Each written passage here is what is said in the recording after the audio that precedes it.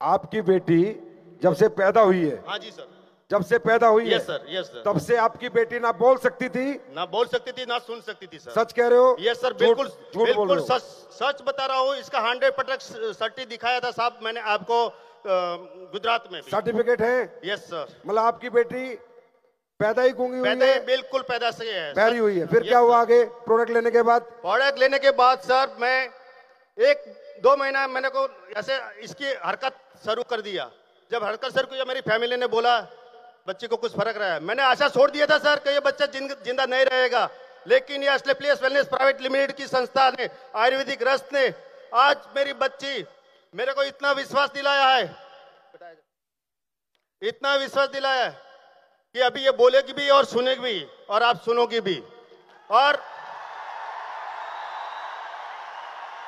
you